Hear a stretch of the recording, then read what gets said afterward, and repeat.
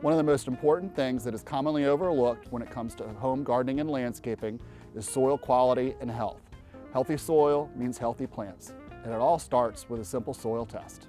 Like any do-it-yourself project, there's a right way and a wrong way, and soil testing is no exception. So you're probably wondering, why test your soil?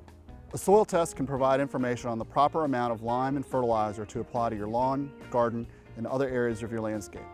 When you apply the right amount of lime and fertilizer at the appropriate time, nutrient runoff into surface or groundwater is minimized. Money is saved and plant health is optimized. Soil testing can be used to diagnose common nutrient deficiencies for plants that are growing poorly. So how do we get started? You need a test kit and a few items that you probably already have around the house. The soil test kit includes a cardboard sample box and an information sheet. You can get your soil test kit from the Henrico County Extension Office or any county library. You will also need a clean bucket, a soil probe, or a trowel. There are a few things you need to consider before you start digging. Samples collected from your lawn, garden, and other areas in your landscape need to be collected and contained separately because plants grown in different areas may need different requirements. When it comes to your lawn, you want to take a variety of samples in different locations to give a true representation of your property. Avoid obvious areas of extreme differences in your lawn, like landscape borders, brush piles, severe erosion, and avoid pet droppings. These samples could alter your test results.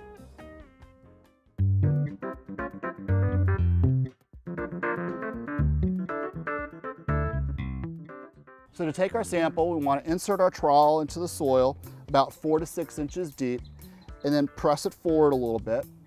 Then we're going to go back in and take a slice out of the back side of that hole, pull it up, take out any big pieces of grass or if there's rocks, also take that out and put it in our bucket. We don't need to worry about how much soil we're collecting from an individual hole. We're going to take multiple samples and that will be more than enough soil for our test. After you take multiple samples of the area, you will need to mix them together before they are added to the soil sample box.